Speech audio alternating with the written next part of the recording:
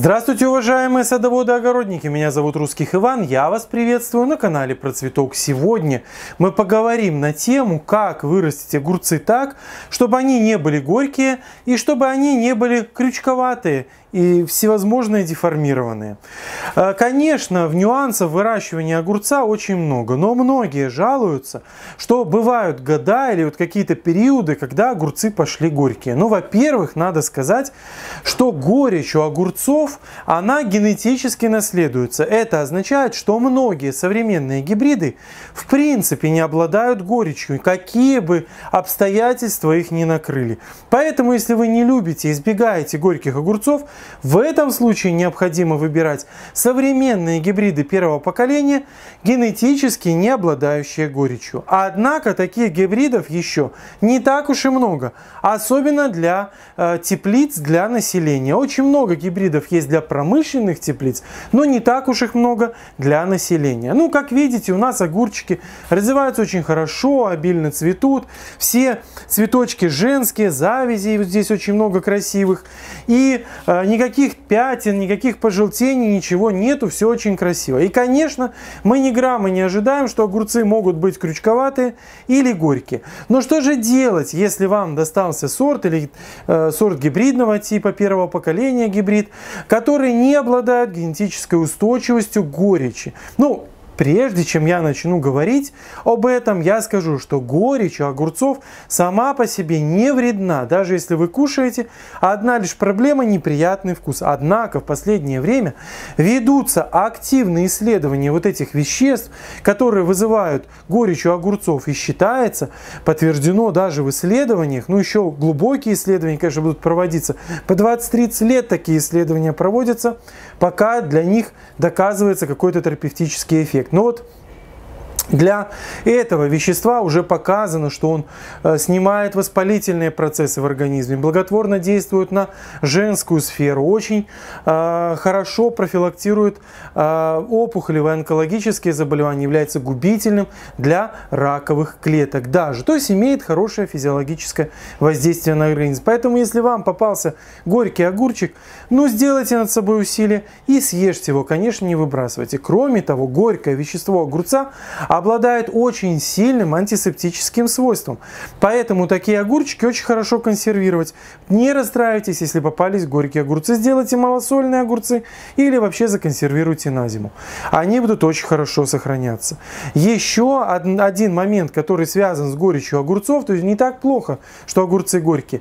Это то, что все полезные косметические эффекты огурца наиболее активные, такие как отбеливание кожи, разглаживание, морщиномолодежение кожи, обуславливаются в том числе веществами, которые связаны с горечью огурца. Поэтому, если огурчик оказался горький, ну протрите им лицо утром, на ночь, когда хотите, полежите 15 минут с этими огуречными какими-то дольками на лице, и, и будет все очень хорошо. То есть польза от них тоже есть. Но если все-таки вот пошли эти огурцы, помните, что горечь у огурцов накапливается во время стресса. Главным стрессом для огурца, который связан с накоплением горечи, и является, конечно же, засуха. Когда наступает засуха и жара, вот тогда жди горькие огурцы в гости. Поэтому отсюда очень легкая мораль. Хорошо поливайте огурцы, ведь они очень чувствительны как к недоливу, так и к переливу. Поэтому постоянно увлажненная почва является хорошим фактором профилактики горечи огурца. Второе, это, конечно, охлаждайте теплицу, в которой растут огурцы. Если у вас огурцы растут в открытом грунте и горькие, то в этом случае вам просто необходимо притенять посадки огурца. Вроде бы и жарко, а все равно спанбон пригодится. Набросьте спанбон днем на грядку, притяните немножечко грядку, и это будет очень хорошим способом, чтобы спасти огурцы от перегрева. В Турции я видел, теплицы забеливают, забеливают специально, чтобы проникало как можно меньше света, ну не как можно меньше, но меньше света, и меньше было жары. Поэтому это правило номер один. Все, что касается стрессов, все, что касается неприятных таких факторов окружающей среды, погоды, э, какого-то недогляда, недосмотра за огурцами. Это все называется стресс. И растения, конечно же, имеют механизмы адаптации к стрессу. Но в этом деле им надо помочь. Если у вас нет возможности притянить огурцы, или несмотря на поливы, огурчики все равно идут горькие, вам, конечно, необходимо использовать так называемые адаптогены. Адаптогены – это очень хорошее средство для того, чтобы увеличивать сопротивляемость растений, в том числе огурца, к неблагоприятным условиям.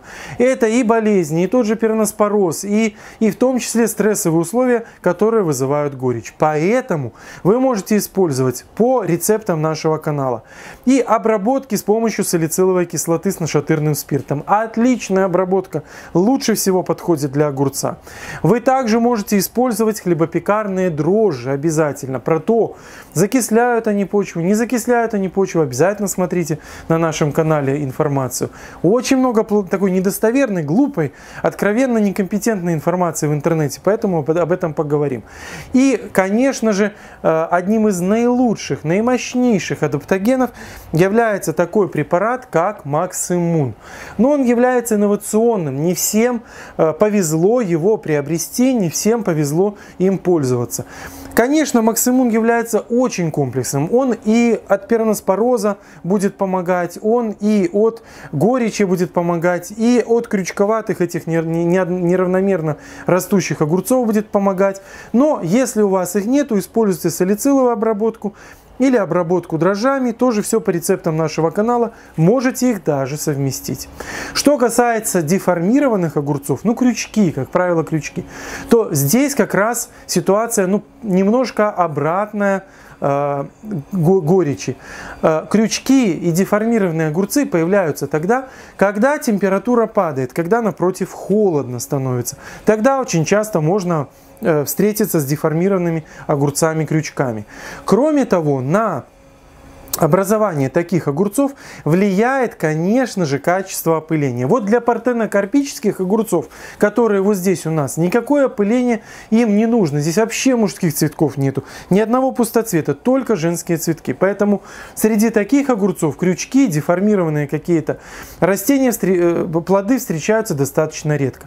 А вот в открытом грунте, где начали пчелки плохо летать, то что дожди пошли, потому что э, э, уже погода не способна способствует лету пчел, а, холодно, может быть, стало, вот тогда огурчики начинают искривляться, делаются крючковатыми. Ну, кроме того, конечно же, на крючки влияет тоже стресс, потому что в момент образования вот этой завязи, вот еще, еще цветочек цветет, еще, еще все здесь цветет. И вот если в момент образования вот этой вот завязи э, были стрессовые условия, она может деформироваться, и будут тогда и, и длинные огурцы, скажем, ну, тепличные, различные даже, а, могут тоже образовывать такие крючки. Ну, соответственно, здесь та же самая история с адаптогенами. Используйте названные адаптогены для того, чтобы обработать огурцы, и у вас 100% огурцов будет вкусным, 100% огурцов будут ровные, красивые, соответствующие сорту, то есть они могут быть гладкие, они могут быть шиповатые,